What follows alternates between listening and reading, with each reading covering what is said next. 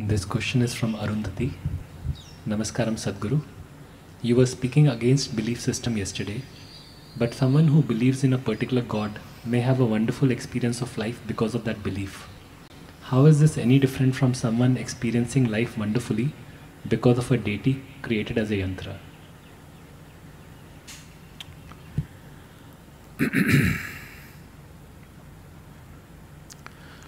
So because you believe something, when you believe something, it brings you lot of confidence. That's the reason why we believe. Well, we started with believing God. These days it's become fashionable to say, I believe in myself. I don't know what that means. How can you believe in yourself? No, no, I believe in myself. All you're trying to do is confidence boosting exercise. Confidence is a dangerous damn thing. Most stupid things in the world are done because somebody is confident without any clarity about it. Most idiotic and disastrous things are done by people who have confidence without clarity. And they're usually believers. Either they believe in that or this or that or something. Essentially, belief means you're fundamentally dishonest. You're not willing to see, I do not know. Well, somebody believes and their life is wonderful, their life may be wonderful because they're devoted to something. It may be a deity, it may be the temple. Usually devotees are not really doing much with the deity. They're sweeping the temple, they're cleaning the temple, they're washing this and that, they're washing vessels in the temple, and it all feels wonderful because they're devoted. It is like, uh, you know, someone has a child, little baby, oh, they're so devoted to this little child. Everything is beautiful, uh, take… changing the diaper is beautiful, wiping the shit is beautiful, everything is beautiful. Yes, it is. Not because shit is beautiful, simply because you're devoted. That's why everything is feeling beautiful. That is the nature of devotion. Whether it's a child or a temple or a god or a deity or a tree, it doesn't matter what. If you are devoted, your devotion will make everything beautiful because devotion is the sweetest emotion you can nurture within yourself. When your emotion is so sweet, what does it matter? You ate well, you did not eat well, you slept well, you did not sleep well, nothing matters.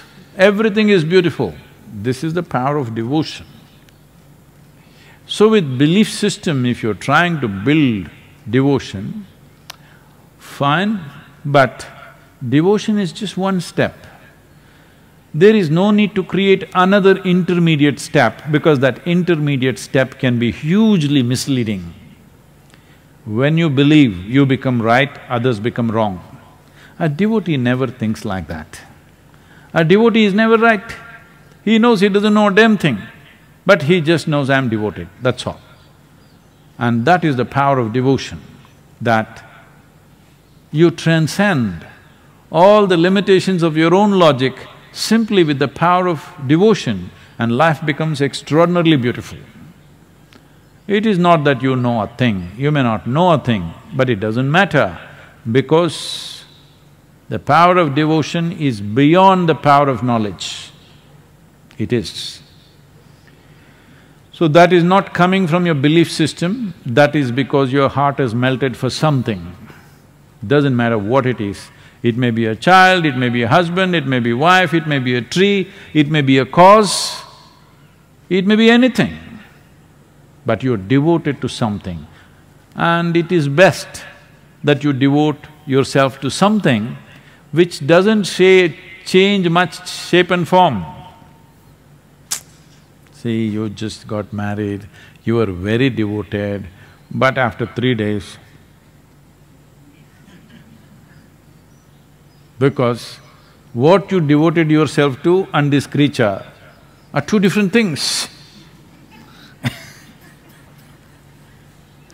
So that is why it is best to devote yourself to a deity unchanging.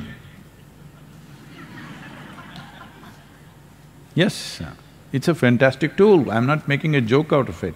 It's a fantastic tool because it fixes one significant dimension of who you are, that is your emotion. People think they are intellectual, they are not. They're largely emotional. Emotional means they may not be dripping with love, they're angry, they're anxious, they're agitated, this is all emotion. Emotion gone bad. If you just become devoted, all these things are gone, just sweetness of your heart all the time. So devotion has that power. Do not misunderstand devotion to believing something. Believing something means you made up something in your mind and make it like a reality. No, that's not devotion. That leads to fanatism. What is the difference? There is a big difference. One happens in your head, another happens in the level of your emotion. One is made up in the thought process, another is not made up in the thought process, it's just the way you feel. It need not be right, it need not be wrong. Devotees don't care whether something is right or wrong, all they know is they are devoted. This gives them a sense of freedom and lets them fly over all the bad terrain in their life. Yes, they don't touch any aberrations, they just fly over everything, simply because the sweetness of emotion has the power to do this. And even today, though people think and claim that they are very intellectual, still emotion is the strongest dimension in most human beings. Maybe it's not finding expression, it's gotten constipated in expression, but inside, it's roiling them all the time. They are not experiencing sense of absolute love towards everything, but they're angry towards everything, they're anxious about everything, they're tense about everything, these are all emotions.